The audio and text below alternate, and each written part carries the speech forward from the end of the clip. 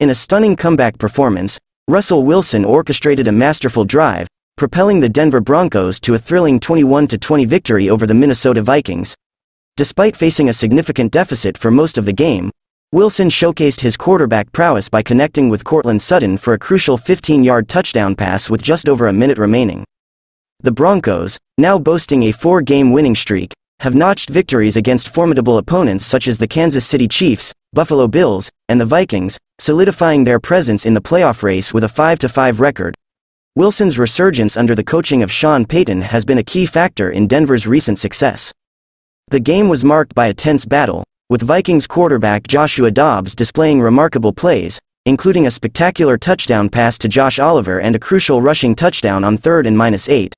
However, Dobbs' efforts were overshadowed by a critical mistake in the fourth quarter, as an interception by Ja'Quan McMillian set the stage for Denver's comeback attempt. Despite the Vikings' resilient defense and a strategic fake punt that extended their lead, Wilson remained composed under pressure.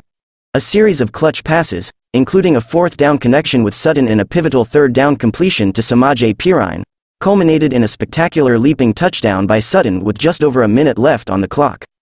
While a two-point conversion attempt was thwarted, the Broncos' defense held firm in the final moments, securing the dramatic one-point victory.